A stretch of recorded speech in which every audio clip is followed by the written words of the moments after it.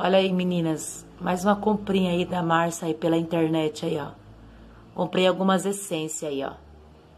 Boa tarde, meninas. Boa tarde. Hoje eu vim mostrar aqui pra vocês, tá? Minha comprinha que eu fiz, que eu tava precisando. Ó. Olha aqui. Esse aqui já tava caindo, ó. Tava esparramando já. Olha, menina, essa aqui, ó, essência Omo, que eu comprei, ó, 500 ml. Ó, comprei mais 2 litros de conservante. Esse aqui eu ganhei de brinde, ó.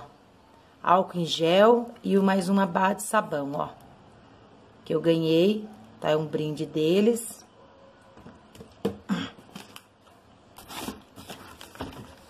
Ó, essa aqui, ó, é a essência Comfort para amaciante que eu comprei, ó, 500 ml.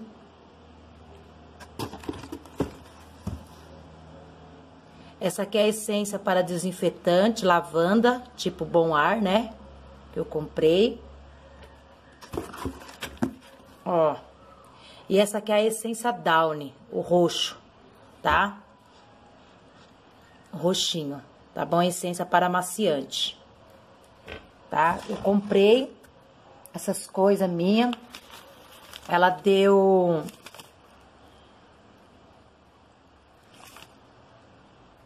Ela deu 146,70 centavos, mais 32 do frete do correio, ó, pode ver aqui, ó.